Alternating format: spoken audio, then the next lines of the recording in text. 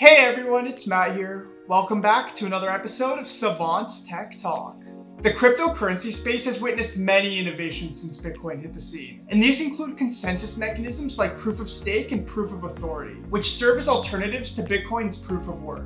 These consensus mechanisms were proposed in light of criticisms pertaining to proof of work's energy consumption and scalability. When it comes to transactions per second, Bitcoin and other proof of work based blockchains suffer from a lack of scalability. This is due to the fact that Bitcoin is based on a dispersed network of nodes that must come to an agreement on the present state of the blockchain. This implies that the majority of the network's nodes must come to an agreement regarding verification. Only then can a new block of transactions be confirmed. So although Bitcoin's decentralized nature provides a safe and trustless ecosystem, it also limits its ability to be employed on a broader scale. In terms of transactions per second, proof of stake blockchains typically outperform Bitcoin. Proof of stake consensus mechanisms are some of the most popular methods for reaching consensus. The benefits of proof of stake are beneficial in that they give network validators an even stronger financial incentive to act in the interests of the network. In addition to this, it doesn't need a lot of processing power or sophisticated equipment, and it also allows for sharding, which significantly increases scalability for blockchain networks. Proof of authority, on the other hand, offers the same benefits, but it's more suited for enterprise level blockchains or private networks due to the limited number of validators that usually accompany it. Also, it addresses one disadvantage of proof of stake that's often neglected. So in today's video, we're gonna look at proof of authority.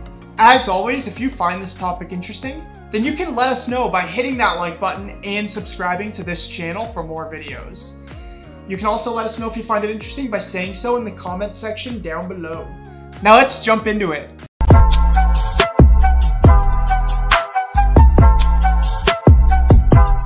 How does proof of authority work? Proof of stake consensus bases its functionality on the assumption that people who've staked their tokens will act in the interest of the network. If they do otherwise, then they run the danger of losing their stake. That's why it seems reasonable to assume that the more stake users possess, the more incentivized they are to maintain the best interests of the network. However, this assumption ignores the fact that although equivalent stakes may be worth the same in terms of money, they might not be worth the same to their owners. A person who stakes 20% of the overall assets within a network, for instance, is likely to be far more invested in the network's growth than an individual who stakes only 1% of their earnings, regardless of the actual stake amount. Proof of authority seeks to improve on this aspect. Interestingly enough, it was Ethereum's co-founder and former CTO Gavin Wood that brought the term forward in 2015. Unlike proof of stake, with proof of authority, instead of staking their coins, users stake their reputation and identity, meaning that it's a reputation-based consensus mechanism for blockchain networks. This stands in sharp contrast to other blockchain systems that encourage anonymity, thereby allowing users to join their networks without the need to reveal their identities. So in proof of authority systems, validators are well-known entities who risk their reputations in exchange for the authority to validate blocks. This twist on the proof of stake mechanism is one of the reasons why it's also called proof of staked authority. So it eliminates the need to account for any monetary disparities among validators, and it makes sure that those who are participating in the network are equally incentivized to contribute towards the network's progress. Due to the identification requirement, proof of authority lacks a practical use for public blockchains like Bitcoin and Ethereum, which possess hundreds, if not thousands of validator nodes. As a result, proof of authority networks often include a limited number of validator nodes, leaning less towards decentralization. Also, like proof of stake, they're equally capable of generating high throughput. Similar to proof of stake, proof of authority is less resource intensive in comparison to proof of work based blockchains. Therefore, it lacks dependence on sophisticated equipment such as expensive mining rigs to validate blocks. That being said, proof of authority networks usually consider entities with a well-established reputation as validators, which implies that obtaining such a function isn't within the average person's reach.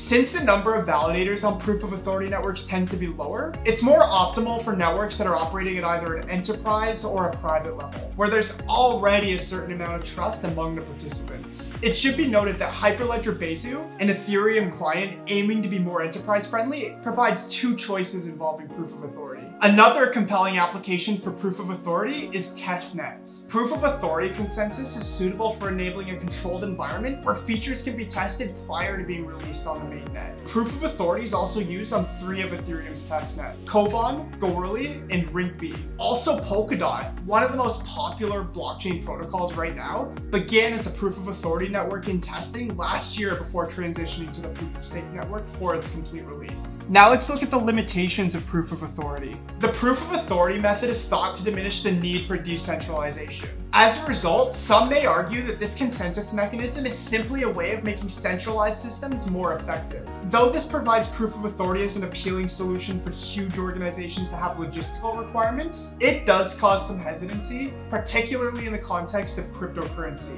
Additionally, even though proof of authority systems have high throughput, the credibility of features like immutability can be a bit doubtful, especially when censoring and blacklisting are simple to implement. Also, revealing the identity of the validators might result in third-party manipulation. If a rival wishes to destabilize a proof of authority network, for example, then they could try to persuade a publicly recognized validator to commit fraud or other dishonest acts so that they can damage the system from the inside. Consensus mechanisms like proof of work, proof of stake, and proof of authority come with their own unique sets of benefits and shortcomings. In the end, it's probable that proof of authority will get the most momentum in the corporate environment.